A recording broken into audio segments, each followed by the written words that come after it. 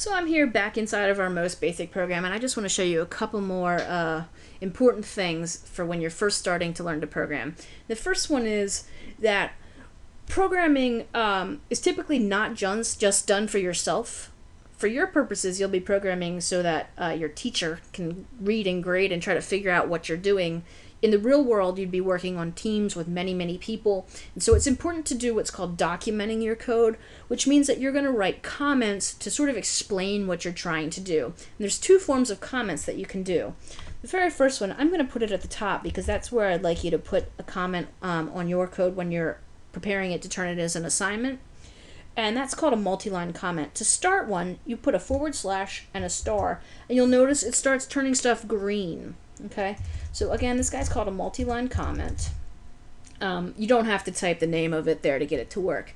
What you should probably do is put your name, and then for each program you write, you usually want to give an overview of what it does. So this program reminds you not to forget to be awesome. All right, and when you're done typing the lines, you close this guy off with a star and a slash and you'll notice the color of my other code reverted back to its regular uh, appearance. Um, the nice thing about Visual Studio is it tries to give you some help so that you can look at just small subsections of your code at a time. So I'm able to close this guy off um, so that I don't have to see the top part. I can open it back up. Okay.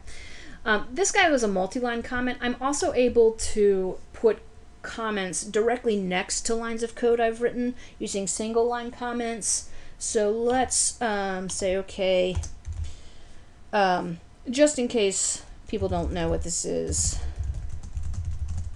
let's uh, let's put there what it is.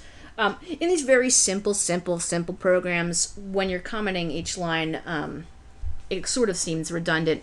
When you start making more complicated programs, it will become more important to explain what you have attempted to do there, particularly if you're using some like weird math techniques and stuff. So for right now, I'm just going to put that in there to show you what it looks like. Um, it's not that important that I wrote that next, that it didn't really explain a whole heck of a lot to me.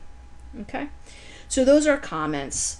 Um, another thing you're going to find out right away is if you don't type stuff exactly as it should look, um, you're going to get syntax errors. So let's say I forgot to put this semicolon here, and then I tried to run. So Control F5, let's build it.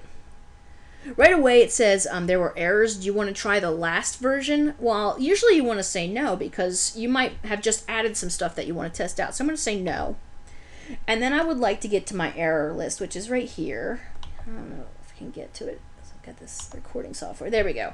And it tries to give me some hints as to where my problem is. So this tells me um, on line 13, and I'm seeing the line number here, it says there's a syntax error, there's a missing semicolon before return. Well, a lot of times it will talk about the stuff that's appearing on the line after the error because your problems are cascading down.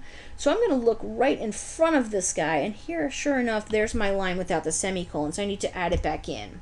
Um, sometimes errors will be uh, listed so that they make a lot of sense, like this one did. Sometimes they'll be more cryptic, and you should talk to your teacher about what that could potentially mean. Okay. Um, the other thing I wanted to point out to you is that there's some color coding going on in Visual Studio here. You'll notice that a lot of this stuff is blue. Blue indicates that these words are keywords, which means they already have a meaning and you cannot change what they are. Um, and so that means later when we make uh, variables to hold information and stuff from the keyboard, you can't choose those names because they are um, already meaning something specific to the program. So if it's blue, you can't use that word yourself for something later. Okay, so that's just a little bit more about basic C++ programming.